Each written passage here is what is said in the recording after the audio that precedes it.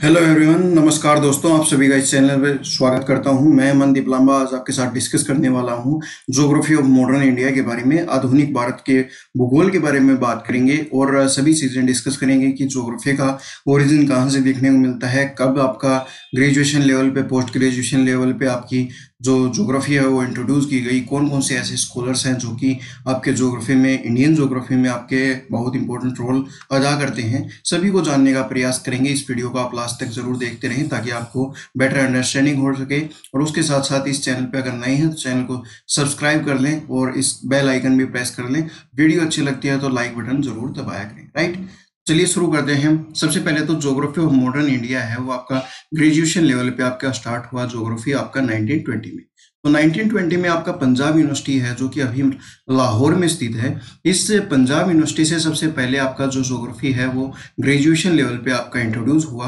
Post graduation level पे आपका जो जोग्राफी है, वो इंट्रोड्यूस हुआ 1936 में। और ये आपका अलीगढ़ यूनिवर्सिटी में आपका सबसे पहले इंट्रोड्यूस हुआ पोस्ट ग्रेजुएशन लेवल तक आपका ज्योग्राफी राइट अभी थोड़ा सा स्कॉलर्स के बारे में जान लेते हैं। हमें पता लग गया कि कब ग्रेजुएशन लेवल पे इंट्रोड्यूस हुआ, कब आपका पीजी लेवल पे इंट्रोड्यूस हुआ, ठीक है? तो आपका 1920 में आपका ग्रेजुएशन और आपका 1936 में आपका पोस्ट ग्रेजुएशन लेवल पे इंट्रोड्यूस हुआ। अभी स्कॉलर्स की बात कर लेते हैं तो स्कॉलर्स सबसे पहले जो स्कॉलर आते हैं वह शिव प्रसाद चटर्जी आते हैं और ये आपके 1941 में आपका जो जोग्राफी है, वो आपका कलकत्ता यूनिवर्सिटी में इंट्रोड्यूस किया और वहाँ पर ये एचओडी के रूप में नियुक्त किए गए राइट तो फाउंडिंग मेंबर या फाउंडर मेंबर भी आपके कलकत्ता यूनिवर्सिटी के, आपके शिव प्रसाद चटर्जी मिलते हैं। इनका रिसर्च आर्टिकल की बात करें तो प्लेटू द मेघालय, इनकी रिसर्च आर्टिकल है।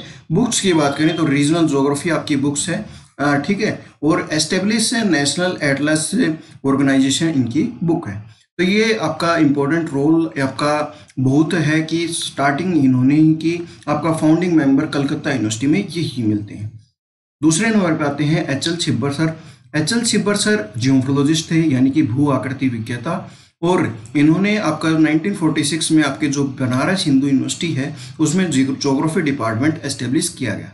तो इनके द्वारा एस्टेब्लिश किया गया और ये फाउंडिंग फाउंडर मेंबर मिलते हैं आपके बीएचयू में। इनकी बुक्स की बात करें तो जोग्राफी ऑफ़ बुरमा आपकी इंपॉर्टेंट बुक है the mineral resources of Burma इनकी बुक है physical basis of geography of India इनकी बुक है advance economic geography of India and Pakistan इनकी बुक है। तो ये अगर आप ध्यान दें तो 1946 से 47 की ये बात है। तो यहाँ पर इस समय आपका भारत और पाकिस्तान है, वो आपका अलग नहीं देखने को मिलते थे। तो इस वजह से जो आपकी ये चीज़ें, आपकी दोनों एरियाज़ की इन्होंने स्टडी की, क्योंकि इससे पहले की स्टडी सभी चीज़ें इन्होंने इन्वॉल्व की थी राइट इसके बाद आते हैं S C Chatterjee sir. S C Chatterjee sir Patna university में 1949 में आपका पीजी एस्टेब्लिश किया, यानी कि पोस्ट ग्रेजुएशन सेशन आपका इनके द्वारा ही एस्टेब्लिश या वहाँ चलाया गया। फ़िज़िकल जोग्राफर मिलते हैं S C Chatterjee sir. Ramnath Dubey sir fourth number पे आते हैं, जिन्होंने हलाबाद यूनिवर्सिटी में आपका जोग्राफी डिपार्टमेंट एस्टेब्लिश किया। ठीक है तो रामनाथ दुबे सर ने आपका इलाहाबाद यूनिवर्सिटी में जोग्राफी डिपार्टमेंट एस्टेब्लिश किया। बुक्स की बात करें तो economic and commercial geography economic geography of India economic development of England physical जो बेसिस ऑफ़ जो आपकी जोग्राफी इनकी बुक्स में मिलती है। फिफ्थ नंबर पे आते हैं जॉर्ज कुरियन ये आपके इंडियन ही मिलते हैं। नाम थोड़ा सा अटपटा लिख रहा, लग रहा होगा, लेकिन ये आपके इंडियन है। इकोनॉमिक जोग्राफर मिलते हैं और 1948 में आपका जो मद्रास यूनिवर्सिटी है, उसमें जोग्राफी इंट्रोड्यूस किया गया और ये एच ओ डी वहाँ पर रहे राइट इसके बाद सिक्स नंबर पे आते हैं आपका इब्दुर रहमान खान। तो ये अलीगढ़ मुस्लिम विश्वविद्यालय, जो कि एएमयू कहते हैं हम। एएमयू में आपके पीजी जोग्राफी एस्टेब्लिश किया गया डिपार्टमेंट इन्हीं के द्वारा एस्टेब्लिश किया गया तो ये आपके फाउंडिंग मेंबर वहाँ के मिलते हैं। सेवन्थ नंबर की बात करें तो आपका सैयद मोहम्मद ताहिर रिजवी आपके मिलते हैं और इनका फोकस एरिया है, वो आपका अप्लाइड जोग्राफी पे मिलता है। इसके बाद जो भी जोग्राफर आएँगे, वो आपके मॉडर्न लेवल पे होंगे। ये एक तरीके से थोड़ा सा प्रीवियस टाइप के आपके शुरुआती लेवल के मिलते थे। अभी जो हम डिस्कस करेंगे नेक्स्ट अपकमिंग वो आपके रिसेंटली मिलते हैं। आपने सुने भी होंगे, उनकी बुक्स पढ़ी होंगी तो वो डिस्कस करते हैं। एट्थ नंबर पे आर एल सिंह सर आते हैं और S P Chatterjee ji sir के स्टूडेंट मिलते हैं स्पेशलाइजेशन इनका रीजनल जोग्राफी में मिलता है।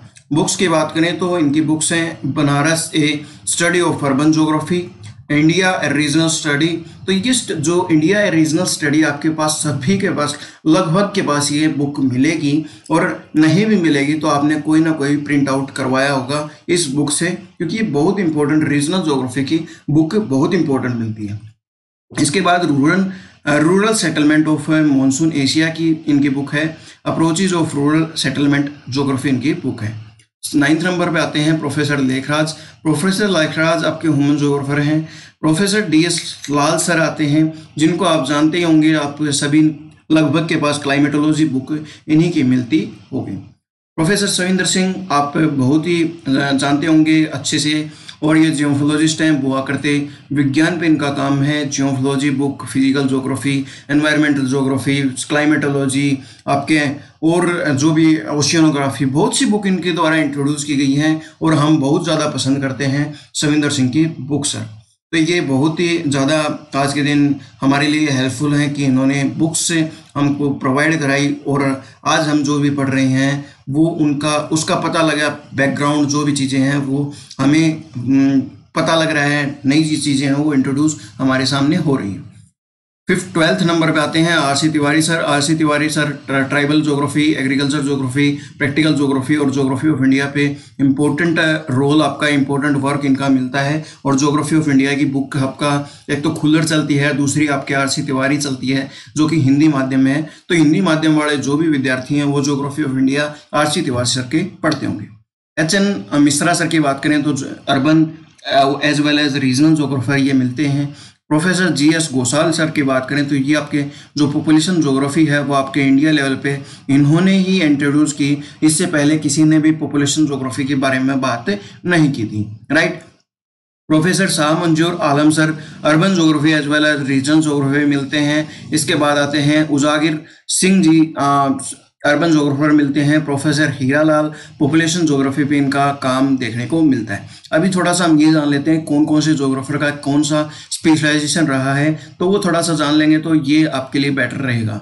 मोहम्मद सफ़ी सर का एग्रीकल्चर जोग्राफी का काम है एस एन मुखर्जी सर का भी एग्रीकल्चर जोग्राफी पे, और वी एस नेगी सर का भी एग्रीकल्चर जोग्राफी पे काम देखने को मिलता है। वी एन सिन्हा सर का इंडस्ट्रियल जोग्राफी पे जगदीश सर सर की transport geography V L Agarwal sir, transport geography R R B Singh sir transport geography और बहुत ही सरल स्वभाव के देखने में मिलते हैं, मिलने पे और बहुत ही अच्छे से डिफाइन करते हैं सभी चीज़ें। आर बी सिंह सर से काफ़ी मुलाकात हुई है मेरी भी तो बहुत अच्छे से सभी चीज़ें हाँ इम्प्लाई करते हैं। तो इम्प्लीमेंट करना transport geography Inayat Ahmad sir urban geography rural geography R D Dixit sir political geography Dwivedi sir political geography Munis Raza sir regional geography Jasbir sir आपके एग्रीकल्चर जोग्राफी पे काम मिलता है। तो इस तरीके से आपको ये पता होगा कि कौन कौन से जोग्राफर किस किस पे वर्क है। आप सभी के ये भी कमेंट होंगे, अगर किसी, कोई ना कोई इससे इंटे जो भी जो स्कॉलर्स हैं, इनसे पढ़ा हुआ होगा तो आप ये कहेंगे कि नहीं, इनका ये है। लेकिन, जो बेस है बेस इन जोग्राफर्स का इसी में मिलता है। और सभी चीज़ें आपके साथ डिस्कस की। थोड़ा सा आपको पता लगा कि हमारे जो पूर्वज हैं, हमारे जो एंशियंट्स हैं और जिनके हम बुक्स पढ़ते हैं, उनका किस पे आपका स्पेशलाइजेशन है क्या क्या इन्होंने फाइंड आउट किया। सभी चीज़ें आपको पूरा का पूरा मॉडर्न इंडिया का जो जोग्राफी है, उसके बारे में पता लगा। तो होप आपको बहुत अच्छी वीडियो लगे होगी।